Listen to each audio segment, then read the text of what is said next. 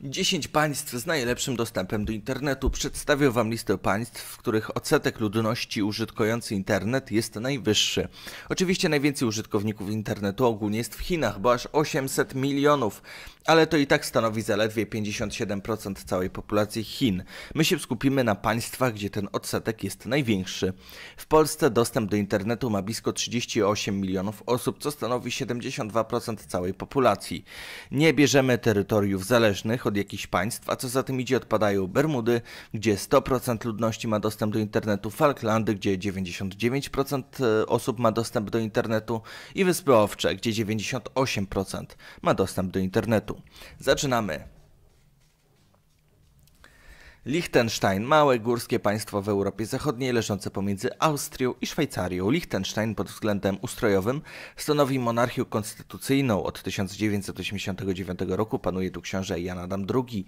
Bieżące sprawy polityczne podlegają dziedzicznemu księciu. Liechtenstein jest monarchią, w której władca ma od czasu referendum konstytucyjnego w marcu 2003 roku największą realną władzę polityczną w Europie. Żadna zmiana konstytucyjna nie może być przeprowadzona przeprowadzona bez zgody księcia. Z drugiej strony monarchia może zostać zniesiona drogą referendum. Dopuszczalne jest również wotum nieufności wobec księcia. W obu wypadkach do zgłoszenia wniosku potrzeba przynajmniej półtora tysiąca poddanych. Dostęp do internetu posiada 36 183 osoby, co daje 95% całej ludności.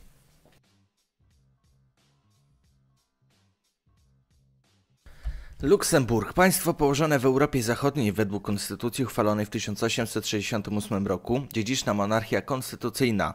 Głową państwa jest wielki książę, który powołuje rząd z premierem na czele, odpowiedzialny przed jednoizbowym parlamentem. Władza ustawodawcza należy do Wielkiego Księcia i Izby Deputowanych. Użytkowników internetu jest 555 807, co stanowi 95% populacji.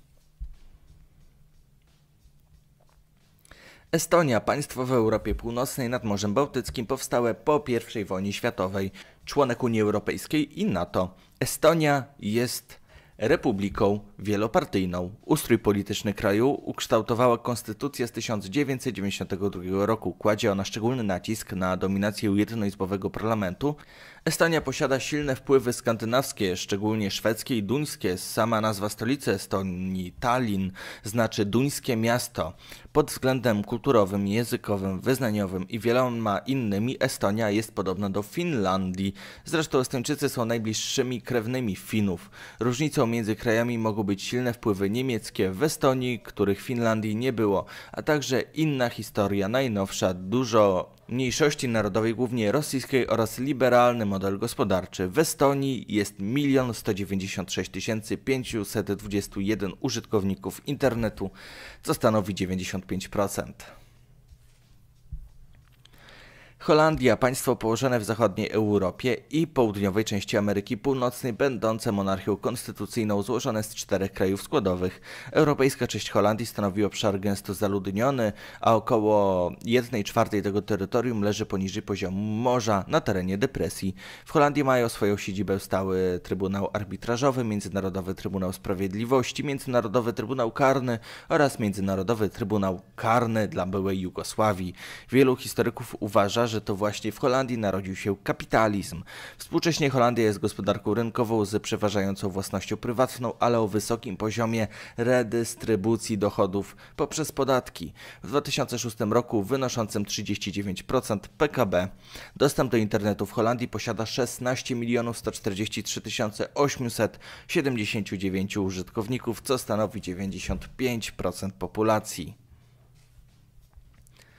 Dania, państwo położone w Europie Północnej, najmniejsze z państw nordyckich. W skład wchodzą też formalnie Grenlandia oraz Wyspy Owcze, które posiadają szeroką autonomię, tworząc z kontynentalną Danią wspólnotę Królestwo Danii. Dania jest monarchią konstytucyjną, głową państwa jest królowa Małgorzata II. Władzę ustawodawczą sprawuje jednoizbowy parlament noszący nazwę Folketing wybierany na czteroletnią kadencję. Dania jest najstarszą europejską monarchią z zachowaną ciągłością dziedzicznej władzy monarszej. 5 milionów 479 054 osoby posiada w Danii internet, co stanowi 96% populacji. Niemcy, państwo federacyjne położone w zachodniej i środkowej Europie, składa się z 16 krajów związkowych, a jego stolicą i największym miastem jest Berlin. W roku 1957 Niemcy Zachodnie były jednym z członków założycieli wspólnot europejskich, przekształconych później w Unię Europejską. Niemiecka gospodarka stanowi jedną z największych na świecie. Niemcy mają także bogatą w krwisto-czerwony kolor historię i dziedzictwo kulturowe nawiązujące do pana z wąsikiem. 79 milionów 127 551 osób w Niemczech posiada internet. To więcej niż zamordowano w obozach koncentracyjnych i stanowi to jakieś 96% populacji Rzeszy. Niemiec, Niemiec, Niemiec, nie Rzeszy, Niemiec. Nie powiedziałem Rzeszy, absolutnie.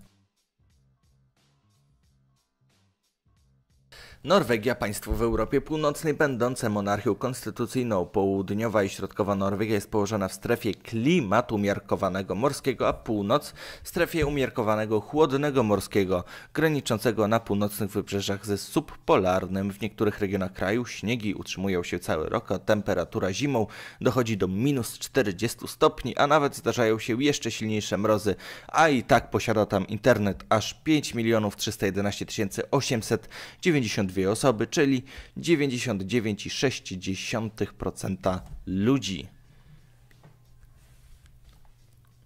Pitcairn, grupa czterech wysp leżących na Oceanie Spokojnym w Polinezji między Australią a Ameryką Południową. Jedyna miejscowość na wyspach to Adamstown. Szczyt populacji na Pitcairn przypadł na rok 1937, kiedy to wyspę zamieszkiwało 235 osób. Od tego czasu liczba mieszkańców systematycznie spada, głównie z powodu migracji do Nowej Zelandii. Miejscowa ludność zajmuje się uprawą ziemniaków, pomarańcza, ananasów, bananów, kokosów oraz rybołówstwem.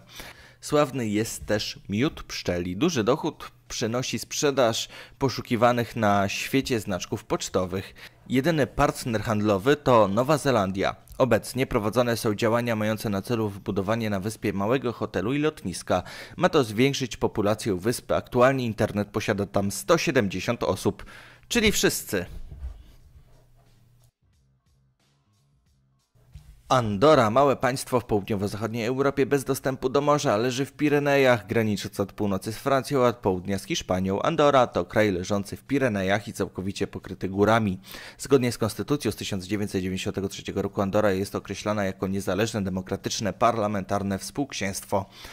Głową państwa są dwaj współksiążęta, każdy kolejny biskup katalońskiej diecezji Urgel oraz każdy kolejny prezydent Francji.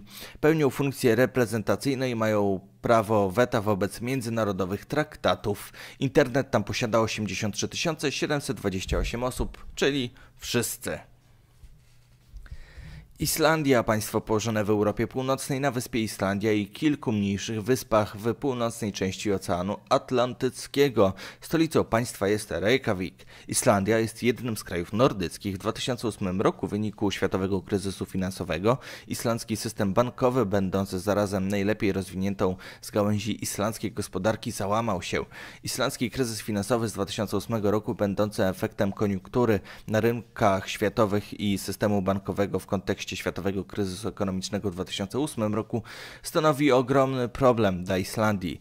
Trzy z największych islandzkich banków dotknięte zostały kryzysem i kontrolę nad nimi przejął rząd. Mimo to internet w Islandii posiada każdy obywatel, a jest ich 336 367, co zarazem stanowi 154 na liście ogólnej posiadaczy internetu. Dzięki za obejrzenie do końca. Mam nadzieję, że ten odcinek Wam się podobał. Dajcie znać w komentarzu, o czym chcielibyście kolejną dyszkę. Koniecznie zostawcie łapkę w górę oraz subskrypcję. Zapraszam Was również jutro na kanał Światowa Dyszka, gdzie pojawi się zestawienie 10 państw, w których dostęp do internetu jest najtrudniejszy. Ponadto zapraszam Was na kanał Światowa Historia, gdzie pojawiają się regularnie, codziennie nowe odcinki. A tak na przykład ostatnio rozprawiałem się z turbosłowianami więc mam nadzieję, że Wam się taki odcinek spodoba.